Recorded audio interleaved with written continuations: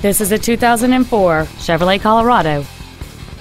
It has a 3.5 liter, five cylinder engine and a four speed automatic transmission.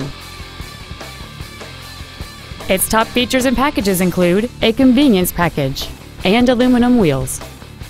The following features are also included air conditioning, a split folding rear seat, cruise control, a six speaker audio system, an engine immobilizer theft deterrent system, a passenger side vanity mirror, privacy glass, dusk sensing headlights, a CD player, and an auxiliary power outlet.